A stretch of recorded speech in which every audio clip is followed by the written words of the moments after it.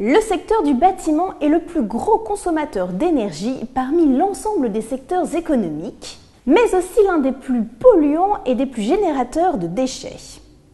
Vous êtes un acteur du bâtiment soucieux de l'impact de votre activité Pour la première fois en France, toutes les conditions sont réunies pour vous permettre de réaliser un chantier zéro carbone.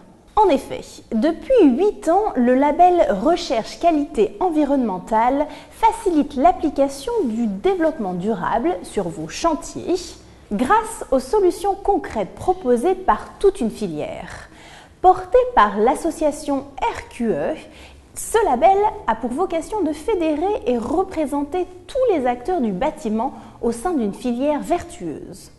Il rassemble aujourd'hui plus de 30 entreprises engagées sur l'honneur par la signature d'une charte et la mise en application de cinq engagements.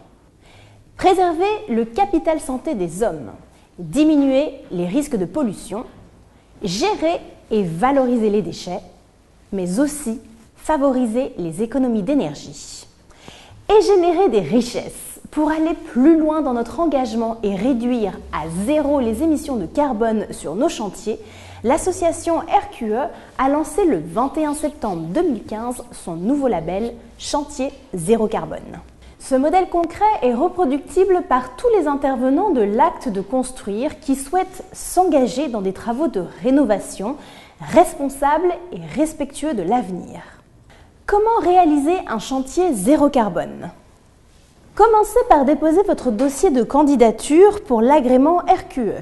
L'ARC, grâce à l'ADEME et via Carbone 4, calculera le poids carbone de votre chantier et le confirmera par type d'activité grâce à la calculette K. Présentez ensuite les moyens concrets mis en œuvre pour diminuer l'impact carbone de votre chantier.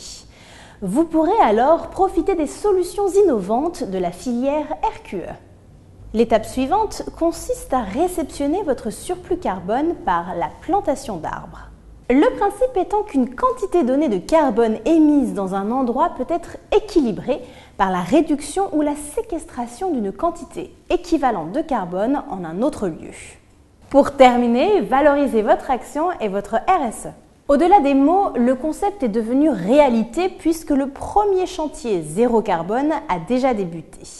Vous l'aurez compris, la dynamique RQE engage tous les intervenants de l'acte de construire à placer le développement durable au cœur de leur stratégie en choisissant le chantier zéro carbone. Vous aussi, devenez les acteurs de notre avenir.